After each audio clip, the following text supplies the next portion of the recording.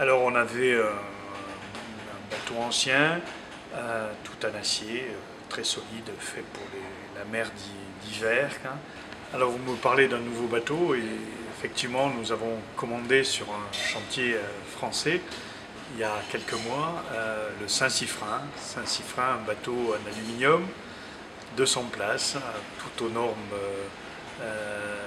handicapés, toutes euh, normes de sécurité nouvelles, hein, euh, avec un double pont, euh, avec un bar, une petite rotonde.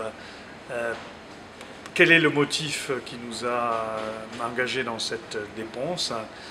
Tout d'abord, on a besoin de deux bateaux au cas où il y a un bateau qui tombe en panne. Hein.